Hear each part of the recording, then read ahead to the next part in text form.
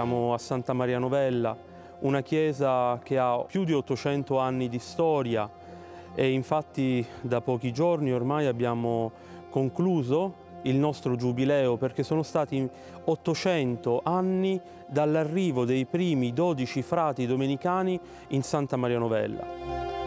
San Domenico in Italia è poco conosciuto, nasce in Spagna più o meno nel 1170, viene affidato a uno zio arciprete per la sua prima formazione, poi entrerà nel capitolo della cattedrale di Osma, della sua cattedrale, e lì vivrà un'esperienza di fede e di comunità molto bella con il suo vescovo.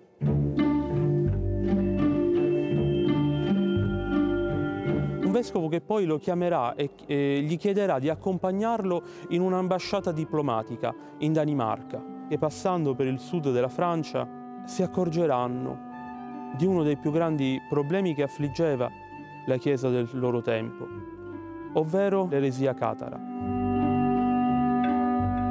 Un Vangelo predicato con la pompa, con la ricchezza dei legati papali non attirava.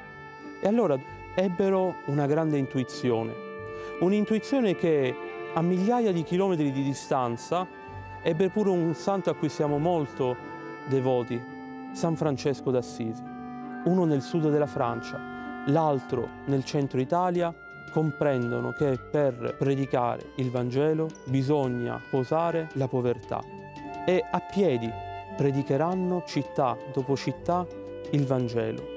E quindi è così nasce l'ordine domenicano, da un predicatore e dai giovani che rimangono affascinati.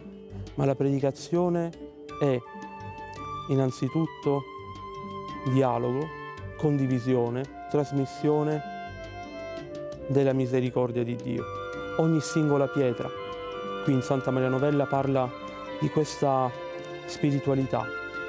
Ci aiuta a predicare con lo stesso entusiasmo di come ha predicato San Domenico, ma in un modo diverso, in un modo nuovo, con mezzi sempre nuovi.